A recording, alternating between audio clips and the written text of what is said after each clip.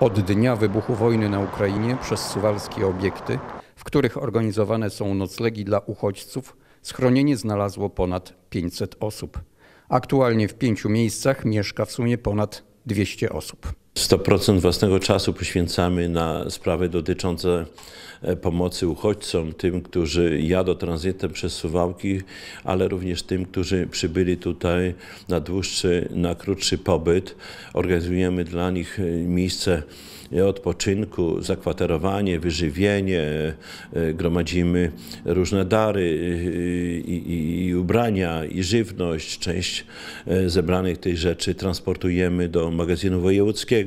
W sumie do tej pory przygotowano ponad 100 palet z darami. Część z nich przekazano do transportu. Część trafiła do Ukraińców, którzy są w Suwałkach. Obecnie największym problemem jest kwestia transportu. Wiele osób, które dojeżdżają do Suwałk, chce ruszyć w dalszą podróż w kierunku państw nadbałtyckich. Kończą się u nas wszelkie e, pociągi. Nie ma połączeń kolejowych dalej na Litwę. E, Szynobus kursuje tylko w sezonie tym wakacyjnym, letnim.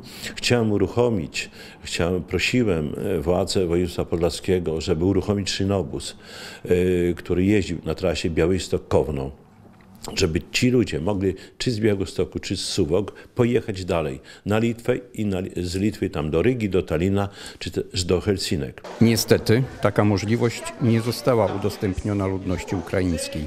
Dlatego też od kilku dni z inicjatywy prezydenta Suwałk organizowane są codzienne transporty dla osób, które chcą wyruszyć w kierunku Litwy. Wykonano już kilkanaście takich przejazdów, dzięki czemu udzielono pomocy ponad 300 osobom. Jesteśmy na tym etapie, że wiemy, jak powinniśmy y, być zorganizowani, i tutaj widzę, że dużo jest osób y, tutaj suwalczeń, nie tylko pomagających, wspierających, y, jakieś grupy pojawiają się zorganizowane i fajnie, że, że ta pomoc tam jest, nawet trochę chaosu jest dużo, bo każdy chce pomagać.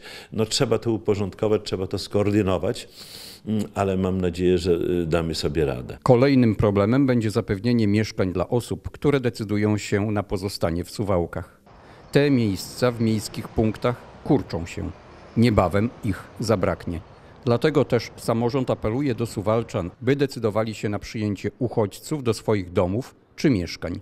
Państwo będzie płaciło 40 zł dziennie za osobę dla tych, którzy zdecydują się na taki krok.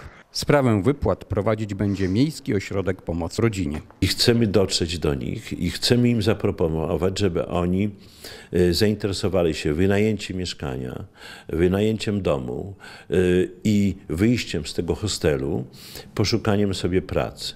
I też miałem spotkania tutaj z Powiatowym Urzędem Pracy. Mamy bazę mieszkań zgłoszonej przez Suwalczan, którzy oferują, że przyjmą pod swój dach na miesiąc, na dwa, na trzy bądź nawet na dłużej. Proces aklimatyzacji Ukraińców w Polsce ma ułatwić kwestię rozpoczętej 16 marca rejestracji ludności ukraińskiej oraz nadawaniu numerów PESEL. Kolejnym etapem będzie możliwość ubiegania się o różnego rodzaju pomoc socjalną, ale również i opiekę w przedszkolach i żłobkach.